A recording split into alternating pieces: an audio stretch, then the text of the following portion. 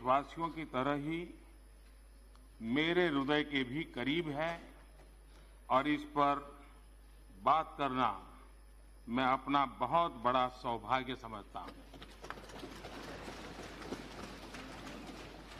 ये विषय श्री राम जन्मभूमि से जुड़ा हुआ है।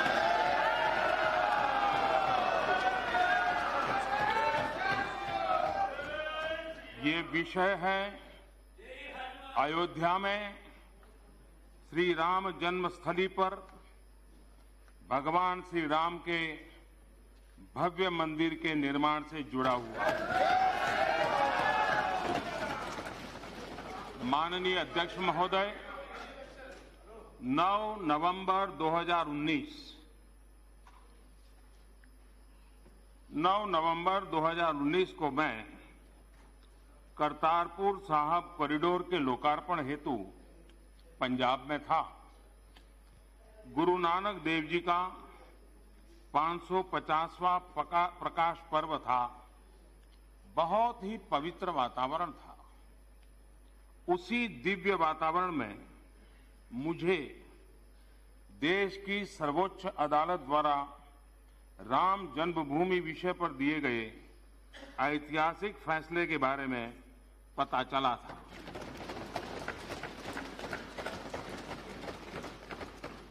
इस फैसले में माननीय सर्वोच्च न्यायालय ने कहा था कि श्री राम जन्मभूमि के विवादित स्थल के भीतरी और बाहरी आँगन पर राम लला विराजमान का ही स्वामित्व है। माननीय उच्चतम न्यायालय ने अपने आदेश में ये भी कहा था कि केंद्र और राज्य सरकार आपस में परामर्श करके सुन्नी सेंट्रल वक्फ बोर्ड को पाँच एकड़ ज़मीन आवंटित करें।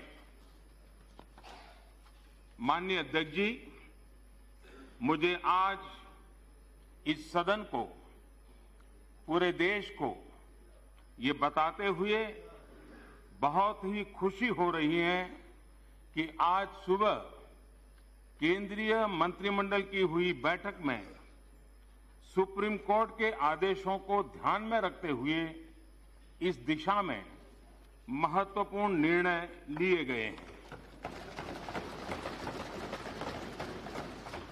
मेरी सरकार ने सुप्रीम कोर्ट के निर्देशानुसार श्री राम जन्मस्थली पर भगवान श्री राम के भव्य मंदिर के निर्माण के लिए और इससे संबंधित अन्य विषयों के लिए एक बृहद योजना तैयार की है।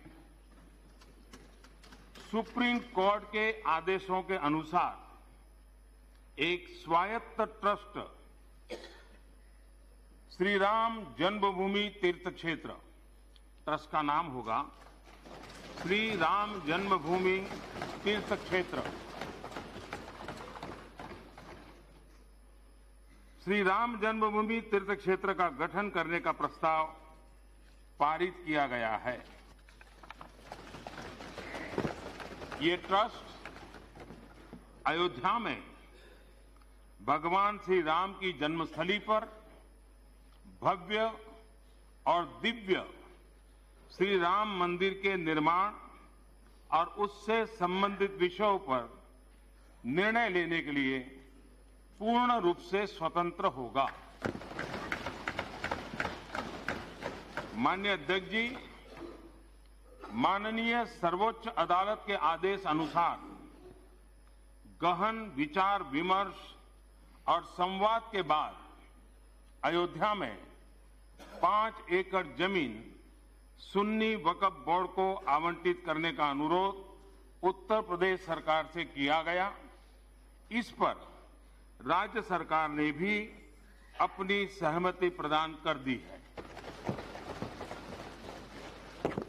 मान्य अध्यक्ष जी, भारत की प्राणवायु में, भारत के आदर्शों में भारत की मर्यादाओं में भगवान श्री राम की महत्ता और अयोध्या की ऐतिहासिकता से, अयोध्या धाम की पवित्रता से हम सभी भली भांति परिचित है।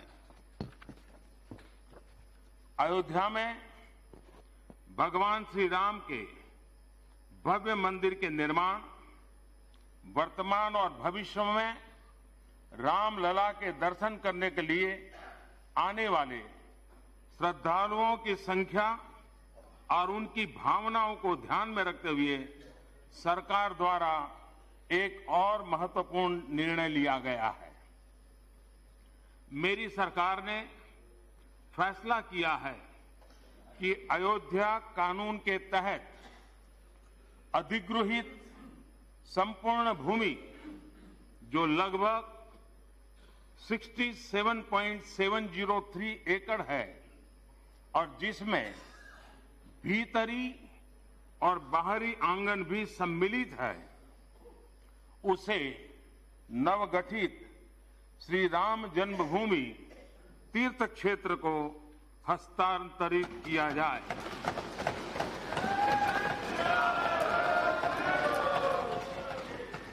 माननीय अध्यक्ष महोदय 9 नवंबर को राम जन्मभूमि पर फैसला आने के बाद सभी देशवासियों ने अपनी लोकतांत्रिक व्यवस्थाओं पर पूर्ण विश्वास जताते हुए बहुत ही परिपक्वता का उदाहरण दिया था। मैं आज सदन में देशवासियों के इस परिपक्व व्यवहार की भूरी भूरी प्रशंसा करता हूँ। मान्य अध्यक्ष जी, हमारी संस्कृति, हमारी परंपराएँ, हमें वसुधैव कुटुंबकम और सर्वे भवंतु सुखिनः का दर्शन देती हैं। इसी भावना के साथ आगे बढ़ने की प्रेरणा भी देती है। हिंदुस्तान में हर पंथ के लोग, चाहे वो हिंदू हो, मुस्लिम हो, सिख हो, ईसाई हो, बौद्ध, पारसी और जैन हो, हम सभी एक बृहद परिवार के ही सदस्य हैं।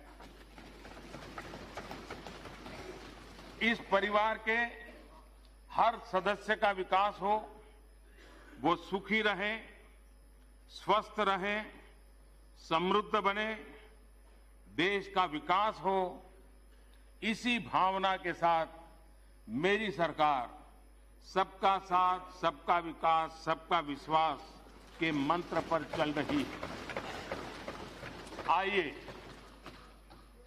आइए।